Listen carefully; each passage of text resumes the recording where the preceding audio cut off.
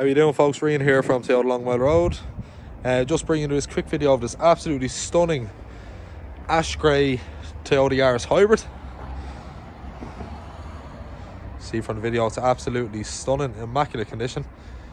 It's sitting on a lovely set of alloys. It also comes with your window flectors and also the chrome on the outside. Now I'll give you a look at the interior. So you have stunning half leather, half cloth seats.